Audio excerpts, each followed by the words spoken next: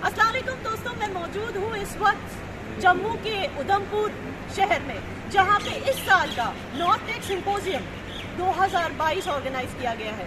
Basically ये एक exhibition है, जिसमें डिफेंस का इक्विपमेंट शोकेस किया जाता है। और सबसे अच्छी बात यह है दोस्तों कि ये सारा इक्विपमेंट चाहे वो ड्रोन्स हो सर्वेलेंस सिस्टम्स हो वेपन्स हो जियो लोकेशन ट्रैकर्स हो, ये सारा कुछ मेक इन इंडिया है। मतलब कि यहाँ, यही के मैन्युफैक्चरर्स ने बनाया है मैन्युफैक्चर किया है इस इक्विपमेंट को। क्योंकि इस साल जो हमारी डिफेंस मिनिस्ट्री है, उसने तय किया कि डिफेंस का सारा इक्विपमेंट इंडिया इंडियन मैन्युफैक्चरर से ही प्रोक्योर किया जाएगा। और इसके लिए जो है गवर्नमेंट ऑफ़ इंडिया ने काफ़ी सारा एक बजट सैंक्शन किया है।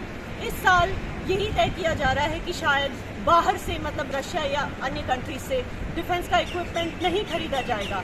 बल्कि पीएम मोदी का जो सपना है, आत्मनिर्भर भारत मेक इन इंडिया ये सपना इवन डिफेंस की फ़ील्ड में भी इसको पूरा किया जाएगा।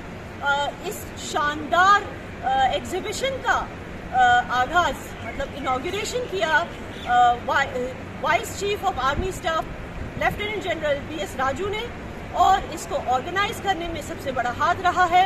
आर्मी के northern commander, lieutenant general Upendra Trivedi साहब का हम इन दोनों से मुलाकात भी करेंगे और कुछ नज़ारे इस खूबसूरत, शानदार एग्जीबिशन के देखेंगे। आइए मेरे साथ।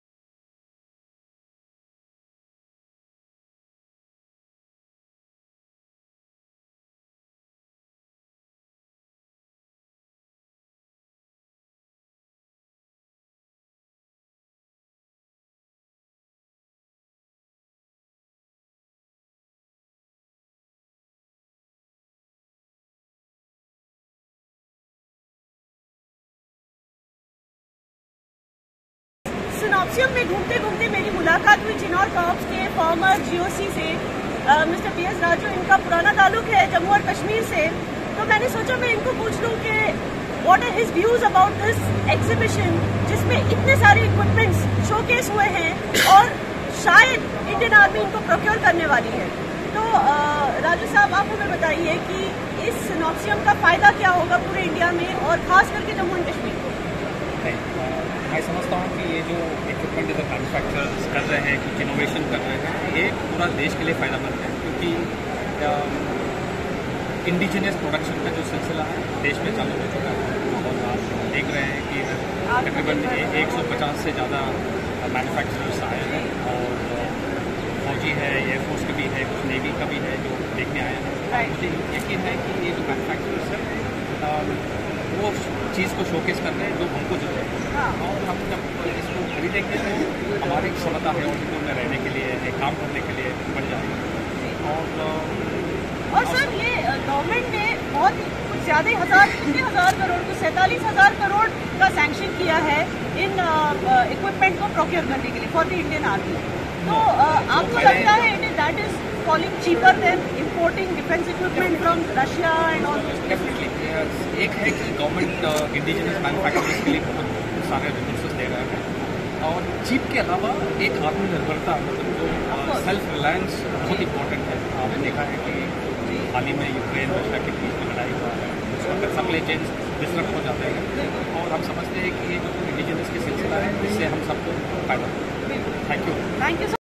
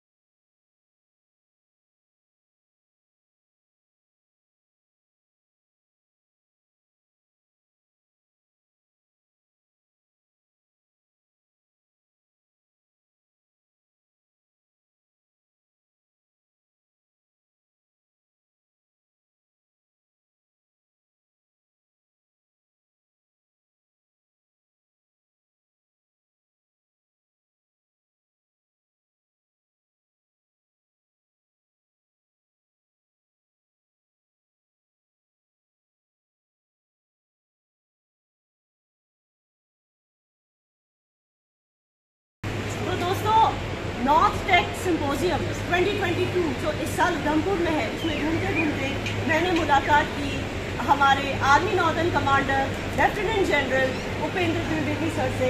सर हम, मेरे ब्लॉग पे आने के लिए बहुत बहुत शुक्रिया। सर, व्यूअर्स को एक चीज़, मैं आपको एक पर्सनल सवाल पूछना चाहती हूँ, उसके बाद मैं सिंपोजियम के बारे में आपसे सवाल करूँगी।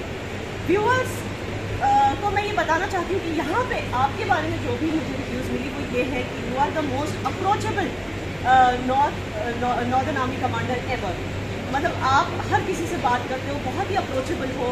इनफैक्ट मिलिटेंट्स को लेके आपके ख्याल कुछ ऐसे हैं कि your heart goes out the parents आपने ऐसे बोला था.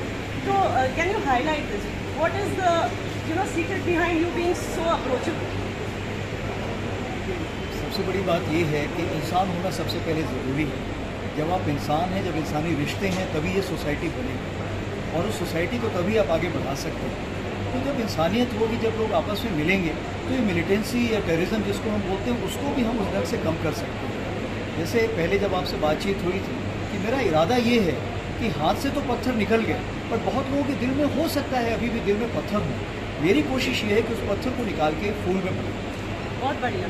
सर, अभी आप इस सिंपोजियम के बारे में थोड़ा सा हमें बताइए कि इससे देश को और खास करके जम्मू कश्मीर को कुछ क्या फ़ायदा हो सकता है? और ये जो शानदार सिंपोजियम है मतलब इसका व्हाट इज़ द रीज़न जो ये इसका आगाज़ किया गया?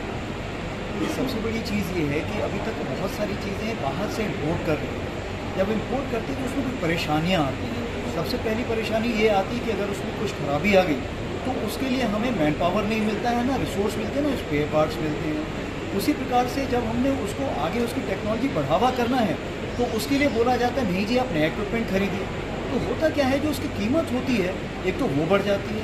दूसरा, जब मुझे सही समय पे चाहिए होता है तो इक्विपमेंट नदारद होता है। इन चीज़ों को मद्देनज़र रखते हुए हमें ज़रूरी है कि हमारे देश में ही इसका इनिशिएटिव लिया दूसरी चीज़ ये है कि हमारे देश में क्या होता है छोटे छोटे इक्विपमेंट तो बनते हैं बट हम एक चीज़ कहते हैं सिस्टम इंटीग्रेट जो सारों को मिला के एक समूह बनाता है और मुझे आउटपुट जो देता है कलेक्टिव होना चाहिए जिसको हम बोलते हैं कॉमन ऑपरेटिंग पिक्चर तो वो भी चीज़ है जो हमें अपने देश में ही पैदा करनी है और कोशिश यही है इस सिम्पोजियम की कि हमें छोटे छोटे इक्विपमेंट बनाएँ और सिस्टम इंटीग्रेशन भी करके thank you so much sir thank you हमारे व्यूवर्स से जुड़ने के लिए।